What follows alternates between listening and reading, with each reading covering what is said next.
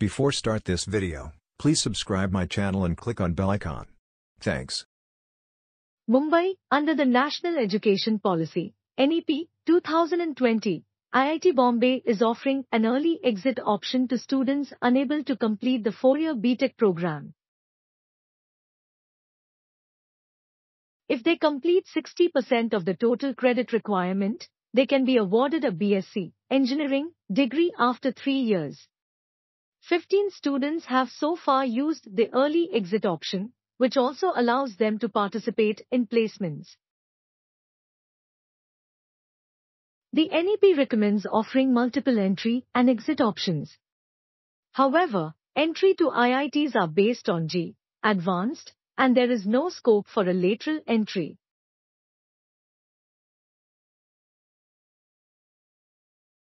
For multiple exits, NEP recommends offering a certificate, a diploma and a degree if students intend to exit after the first, second or third years, respectively.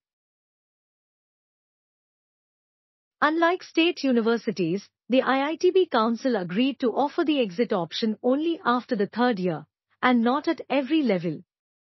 These students are among those who could either be having trouble clearing their courses or keen to try something else. To supplement the decision on not offering the branch change option after the first year, IITB is increasing intake to several minor programs to ensure students learn subjects outside their specialization. After a suicide on campus, among other initiatives, the institute had done away with the branch change option at the end of first year. Thanks for watching. Please like, share and subscribe my channel.